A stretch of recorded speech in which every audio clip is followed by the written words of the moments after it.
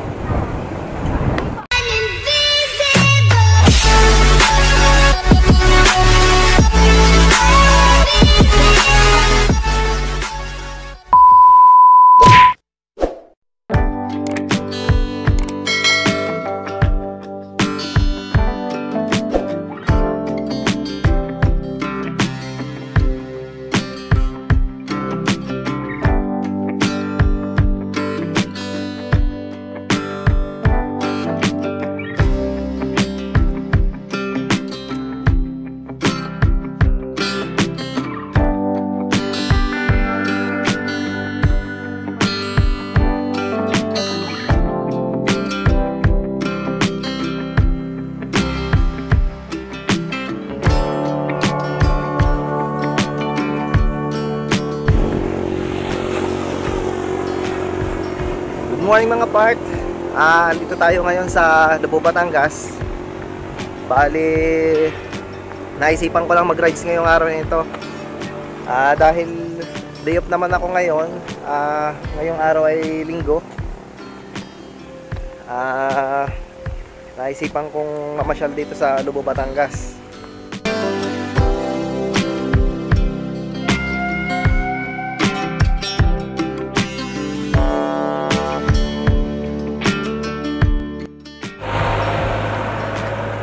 Bali, andito nga pala ako sa Barangay Balatbat dito sa Lubo, Batangas. Ah, napatigil lang ako saglit. Ah, kung mapapadaan kasi kayo dito, hindi nyo mapipigilan, hindi hihinto. Kasi madadaanan ninyo itong gantong view.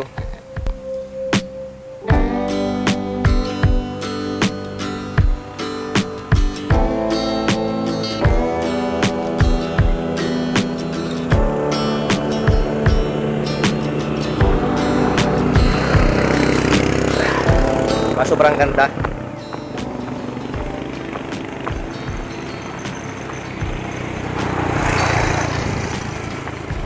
Ah, bali dinadayo ang Lubo Batangas sa kanilang magagandang view, tanawin at saka yung mga beaches nila sa Malabrigo, ah, Barangay Sawang, Lagad Larin. Andun ang kanilang mga magagandang beach. Tapos sa daan pa lang, makikita nyo na yung mga madadaanan nyo yung magagandang view, yung mga bundok. Kagaya na nasa likod ko.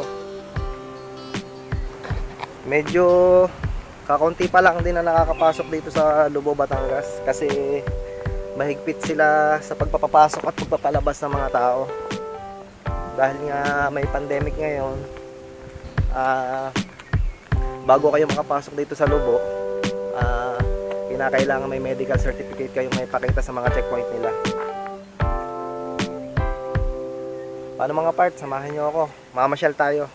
Let's go!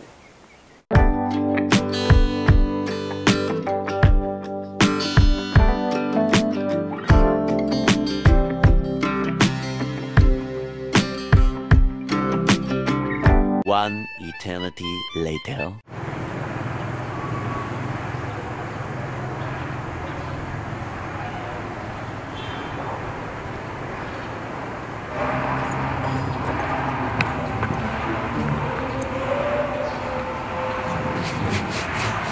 So yun na, nakarating tayo dito sa mismong kabayanan ng Lubo, Batangas. Ah, bali, nandito tayo sa kanilang plaza. Dito ako madalas tumatambay pagka pupunta ako dito sa Lubo. Itong mga upuan dito. Dito ako madalas umupo. Kaya medyo pagod sa biyahe kasi um, isang oras din mahigit ang biyahe mula Batangas City papuntang dito sa Lubo, Batangas. Ah, medyo maingay lang dito kasi ginagawa yung kanilang ano, ginagawa ang kanilang City Hall. Ayan. Yan ang City Hall ng Lubo, Batangas. Kahit araw ng linggo, ginagawa nila. Hindi ko alam kung pwede dito mag-vlog. Pero siguro naman hindi bawal. Bali, ito ang kanilang plaza. Sa tapat nito, ang kanilang gym. Tapos sa kabilang kalsada, ang kanilang City Hall. Meron na din dito mga 7-Eleven, M. Luwilier. Pero ang pinagtataka ko lang, wala pa sila ditong mga Jollibee, McDo, yung mga food chain na malimit kainan.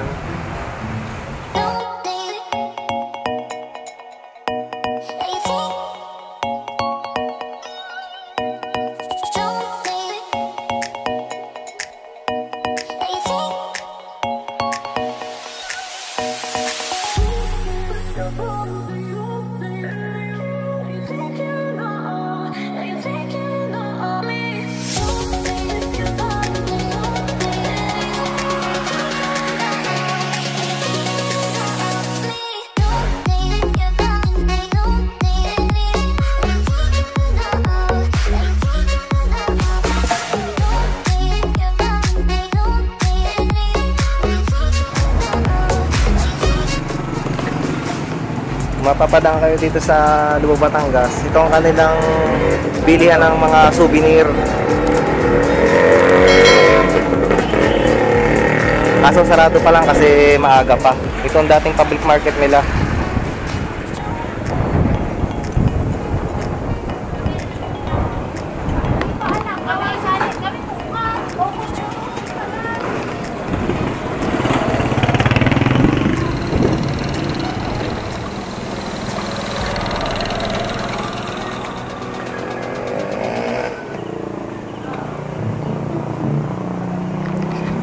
Bali yung dinaanan natin kanina yung kanilang dating public market.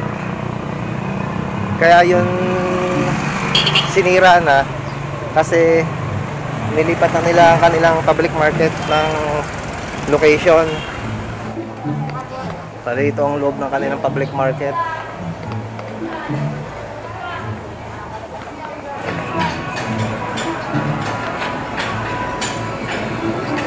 Bali kompleto dito.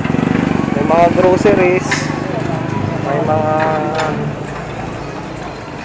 bilihan ng mga kortina, may mga drugstore. Ngatin. Ano gaya, nagpa-vlog ka? Tama. Gusto niya sumali sa vlog? Nag-ikot-ikot lang ako. Ngayon, thank you.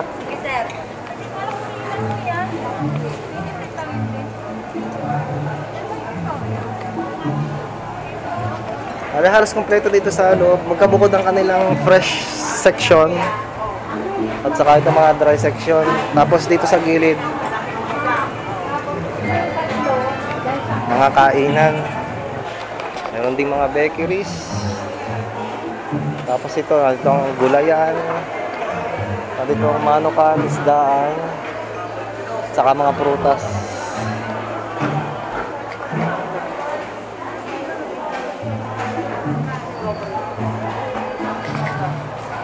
Siyempre, pag pupunta kayo dito sa palengke nila, hindi nawawala yung mga parkings. Nandito na meron namang parking area.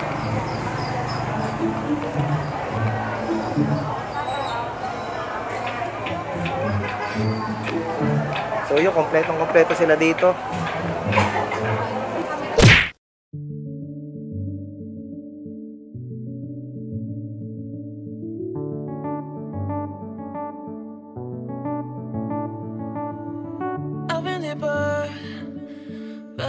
Have to stay afloat. It's not easy. Eh?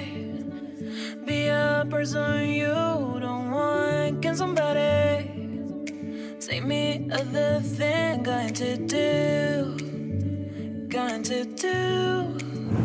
Where's the life I? Bali, balik tayo dun sa Where's my childhood? Is this called living?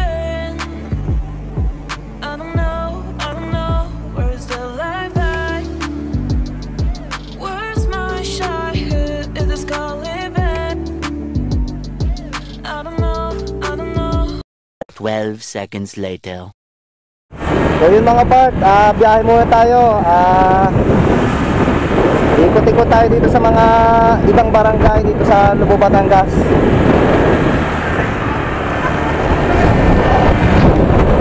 Bali, sobrang mahangin ngayong araw na ito. Ah, hindi siya mainit. Ah, Dumiglim lang siya. Pero sa palagay ko, hindi naman siya umulan.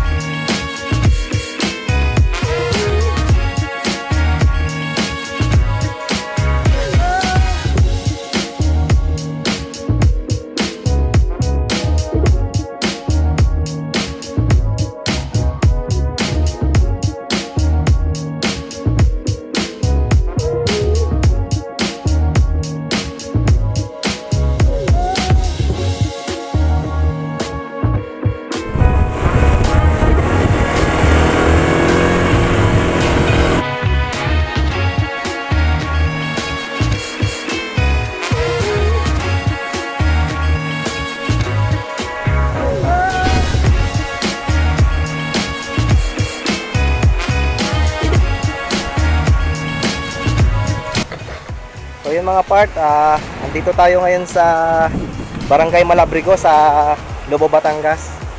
Itong lugar na ito ay tinatawag nilang Lovers Lane. Ah, kalimitan, ah, dito tumitigil yung mga riders. Hindi talaga makakatis dito mga riders na hindi titigil kasi sobrang ganda naman talaga ng view.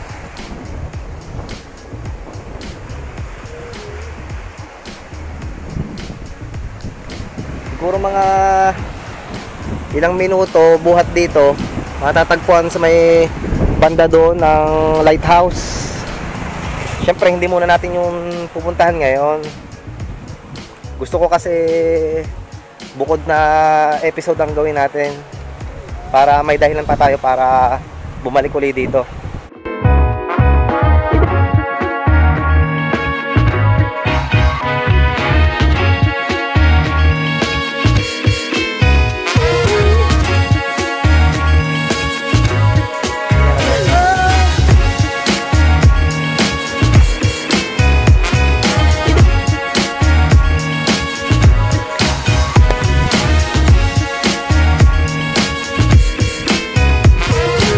So yun mga part at baka dito ko na lang tatapusin tong vlog natin.